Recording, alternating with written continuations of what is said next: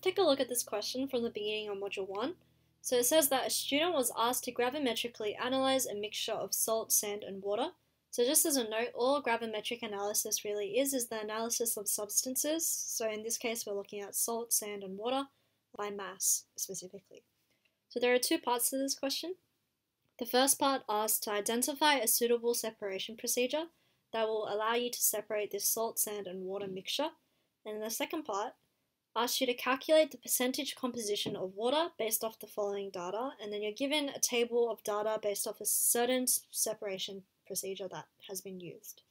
So the first part is asking you to identify a suitable separation procedure that will allow you to separate this mixture of salt, sand, and water. So just some theory first of all. Whenever you're looking at separation techniques or you have a question about what separation procedure you should take, there are two main things you really want to consider. The first thing is what substances are actually being separated. And this will allow you to identify what specific separation technique that you should be using. So first of all, when I'm talking about what substances are being separated, talking about like is your mixture solid solid mixture? Is it a solid liquid mixture? Is it a liquid liquid mixture? What mixture of substances are you actually trying to separate?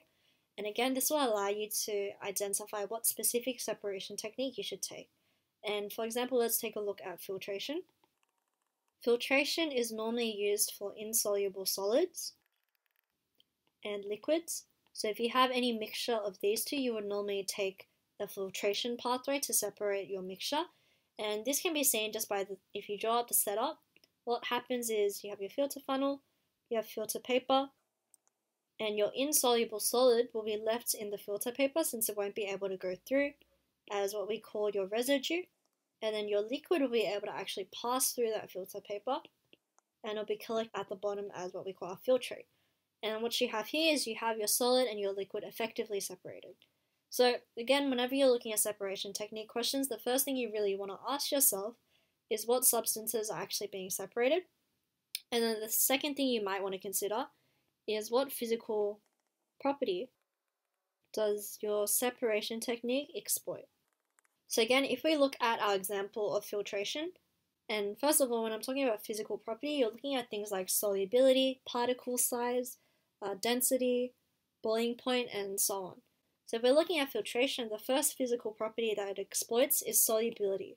So if your solid was actually dissolved in the liquid, this separation technique, so filtration, wouldn't actually work anymore because then your solid, which is dissolved in your liquid, will just pass through your filter paper as well.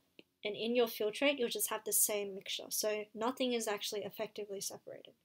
Another thing that you might want to consider as a physical property that's being exploited in filtration is also particle size. If your solids were sufficiently small enough, so if they were really, really small particles, then it might actually be able to pass through the holes in your filter paper and again pass through along with your liquid and then you'll end up with again a mixture in your filtrate so nothing is actually effectively separated.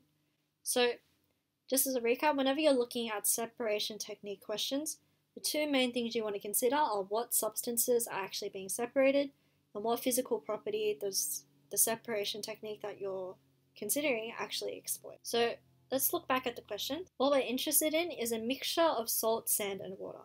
So let's take a look at what that actually looks like first. So if we have a beaker and we have water, so first of all, sand is insoluble in water, so it will just collect at the bottom as sand. Then when we're looking at salt, salt, as you should know, is actually soluble in water, so it'll actually dissolve in water. And what that actually form is just a mixture of salt water. So this is what our mixture looks like. We have salt water and then we have sand which will rest at the bottom as a solid. So now when we're looking at what is a suitable procedure to actually take, whenever you're considering that, the best way to think about it or the best way to go about it is just separate things one by one.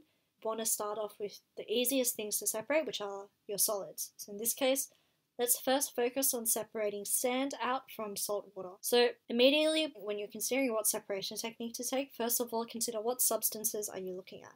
So we're looking at sand, which is a solid, and we're looking at salt water, which we'll consider together, which is a liquid. And whenever you're separating an insoluble solid from a liquid, the main separation technique that you'll be using is filtration. So in this case, what will happen is if we have our filtration setup and we run this mixture through this filtration setup, what ends up happening is sand will be collected as our residue and then the salt water will go through the filter paper and be collected as our filtrate. So sand will become our residue and then salt water will become our filtrate. So we've separated one out of the three from our mixture, our second part, which is separating salt from water.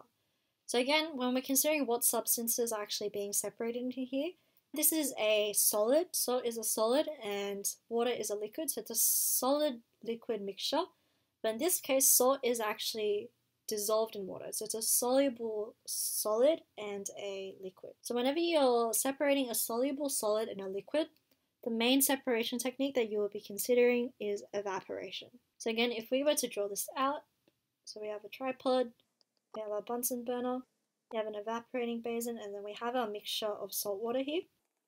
As you continually heat this up, what will actually happen due to the physical property of boiling point, so specifically water has a much lower boiling point than salt, so water will be evaporated off. So this is water being evaporated, and what they'll actually leave you is salt crystals, which are solid. So you've actually effectively separated your liquid, so your liquid water, from your salt. So again, you have evaporation, and what will happen is water will be evaporated off, and then you'll be left with salt as residue in your evaporating basin. Just as a note, this separation technique doesn't actually allow you to collect water back, so water will just be evaporated off and you won't actually be able to collect it.